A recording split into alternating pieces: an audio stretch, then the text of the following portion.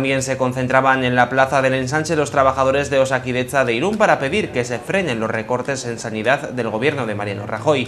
Denunciaban que esta política del gobierno central deteriora el servicio sanitario y por ello pedían la implicación de la opinión pública para denunciar las que consideran unas políticas cada vez más restrictivas aplicadas sobre la sanidad pública.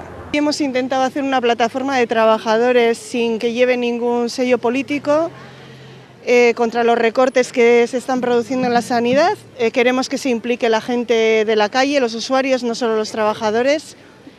Y bueno, pues intentamos que esto vaya para adelante. Nosotros hablamos desde el Hospital del Vidasoa. Los recortes se están notando, los notamos los trabajadores y los notáis los usuarios. Eh, nos gustaría que, que nos apoyarais, que salierais a la calle y que bueno, pues sentirnos apoyados. Somos pocos trabajadores porque es un hospital pequeño, pero pues lo estamos intentando. Los recortes son grandes.